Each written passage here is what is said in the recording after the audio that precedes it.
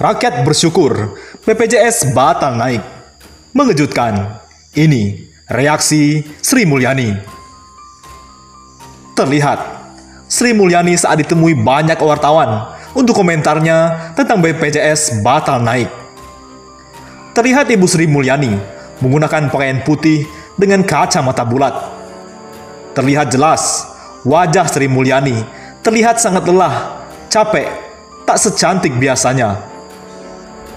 Matanya berkantung-kantung, seperti mata panda.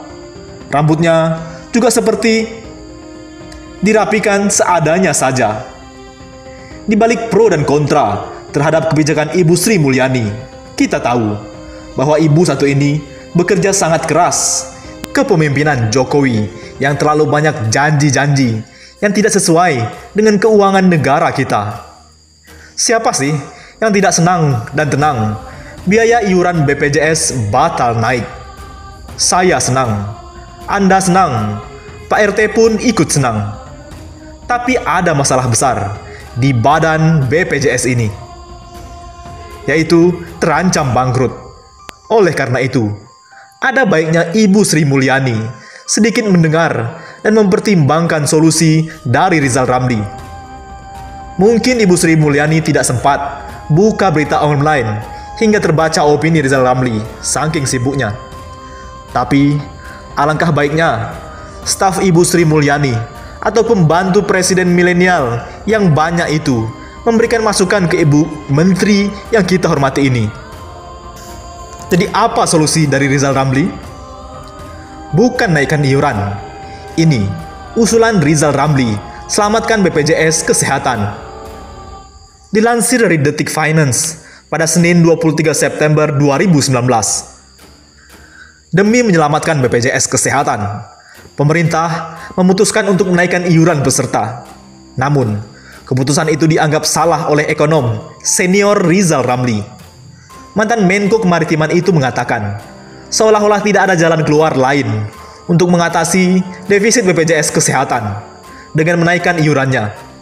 Padahal, ada beberapa hal yang bisa dilakukan. Solusi pertama, yakni pemerintah menyuntikkan modal BPJS Kesehatan sebesar 20 triliun rupiah. Sebab, sejak awal modal BPJS Kesehatan terbilang kecil yang menurutnya seperti dirancang untuk tumbang sejak awal. Modal BPJS 5 triliun rupiah. BPJS dirancang gagal finansial sejak awal, ujarnya dalam keterangan tertulis.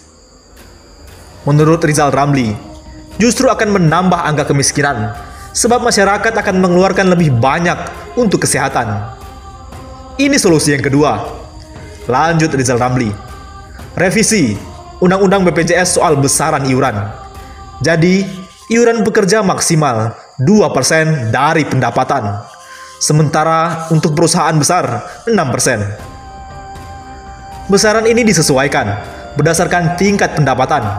Misalnya, di bawah upah minimum kerja digratiskan, tambahnya. Lalu bisa dilakukan penyesuaian pembayaran klaim penyakit kronis dan terminal yang disesuaikan dengan pendapatan pasien. Untuk penyakit menengah atas dan orang kaya, harus top up. Prinsipnya, dari sisi penerimaan dan pembayaran harus cross subsidi. Tutupnya. Sebelumnya, lesu. Sri Mulyani sebut defisit BPJS Kesehatan 2019 13 triliun. Hari ini Mahkamah Agung ternyata mengabulkan judicial review peraturan presiden atau Perpres nomor 75 tahun 2019 tentang jaminan kesehatan. Dalam putusannya, MA membatalkan kenaikan iuran BPJS yang ditetapkan Presiden Joko Widodo mulai 1 Januari 2020. Menteri Keuangan Sri Mulyani Indrawati tidak yakin BPJS Kesehatan akan berkelanjutan atau sustain. Pasalnya, defisit BPJS Kesehatan sudah besar, apalagi dengan dibatalkannya kenaikan iuran. Ya, ini kan keputusan yang memang harus lihat lagi implikasinya kepada BPJS, gitu ya. Kalau dia secara keuangan akan terpengaruh nanti, kita lihat bagaimana BPJS Kesehatan akan bisa sustain, tegas Sri Mulyani di Istana Negara Senin ini. Menurutnya, BPJS Kesehatan memiliki tugas mulia. Tapi sayangnya, memang dari sisi keuangan merugi. Bahkan, sampai akhir Desember 2019, BPJS Kesehatan sudah defisit 13 triliun rupiah. Ini pun telah disuntik kembali 15 triliun rupiah. Dari sisi memberikan untuk kesehatan kepada masyarakat secara luas. Namun, secara keuangan mereka berugi. Sampai dengan saya sampaikan, dengan akhir Desember, kondisi keuangan BPJS meskipun saya sudah tambahkan 15 triliun, dia masih negatif. Hampir sekitar 13 triliun, kata Sri Mulyani. Di sisi lain, iuran BPJS Kesehatan batal naik. Tekor, 77 triliun di depan mata. Direktur Utama BPJS Kesehatan, Fahmi Idris pernah mengungkapkan jika iuran tidak naik, maka BPJS Kesehatan bisa kolaps. Hal ini lantaran defisit BPJS Kesehatan terus membengkak setiap tahunnya. Bahkan, diproyeksikan defisit BPJS Kesehatan bisa tekor hingga 77 triliun rupiah. Bisa kolaps, ya, ujarnya tegas di Forum Merdeka Barat, Jakarta. Menurutnya, layanan untuk para peserta tidak mungkin dihentikan Apalagi masalah kesehatan sangat penting. Oleh karenanya, kebijakan kenairan iuran dinilai cara yang paling tepat. Begini, kami tidak ingin pelayanan berhenti. BPJS Kesehatan sendiri mendapat sanksi, dihukum kalau telat bayar rumah sakit. Itu satu persen dari setiap klaim yang masuk. Jelasnya, dengan denda itu, maka kerugian akan ditanggung oleh negara melalui suntikan dana. Ini tentunya terus merugikan negara Menurut pengamat, ada baiknya gaji pegawainya saja yang dikurangi. Kami melaporkan ke Kemenko beberapa denda yang harus dibayar, yang mana denda itu membebani negara dan APBN. Jadi kita harap ini cepat diselesaikan, tambahnya. Lanjutnya, saat ini banyak yang memanfaatkan pelayanan BPJS Kesehatan yang tidak mungkin dihentikan, seperti perawatan katarak hingga operasi melahirkan secara sesar soal utilitisasinya. Tapi respon publik dan stakeholder itu luar biasa, sehingga tidak mudah disesuaikan. Itu jawaban kalau kenaikan tidak terjadi, tegasnya. Fahmi mengatakan, jika tidak ada kebijakan seperti kenaikan iuran, maka BPJS Kesehatan bakal makin parah. Yang terjadi tahun ke tahun defisit akan semakin lebar. Katanya, Berikut rincian perkiraan defisit BPJS Kesehatan dimulai dari 2012. 2019 32,8 triliun rupiah.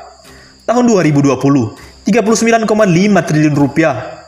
Tahun 2021 50,1 triliun rupiah. Tahun 2002 58,6 triliun rupiah. Tahun 2023 67,3 triliun rupiah. Tahun 2024 77 triliun rupiah. Harapannya, dengan perbaikan fundamental iuran, persoalan ini dapat diselesaikan, kata Fahmi. Untuk diketahui, Mahkamah Agung ternyata mengabulkan judicial review peraturan Presiden Perpres nomor 75 tahun 2019 tentang jaminan kesehatan.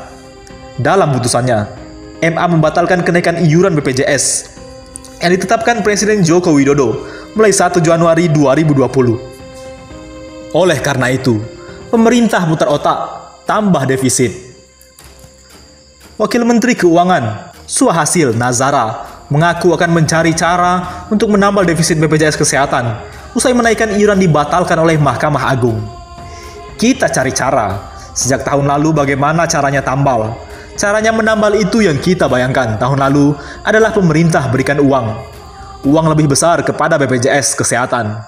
Katanya di gedung dan Napala Kemenkeu Jakarta, Senin ini. Suhasil menyebut, kenaikan iuran BPJS Kesehatan sebenarnya menjadi salah satu untuk mengatasi defisit keuangan BPJS Kesehatan.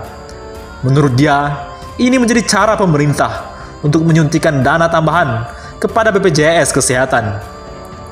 Tanpa keputusan soal kenaikan iuran ini, pemerintah tidak bisa memprediksi sebesar apa dana yang harus diberikan ke BPJS Kesehatan. Pemerintah juga membayarkan kenaikan iuran bagi peserta penerima bantuan iuran atau PBI. Nah, Ini yang sudah dilakukan dengan cara menaikkan itu. Maka tahun lalu, pemerintah bisa bayari defisit itu. Tahun ini juga pemerintah bayari PBI, yang tarif baru. Jelas dia. Bagaimana? Menurut pendapat Anda?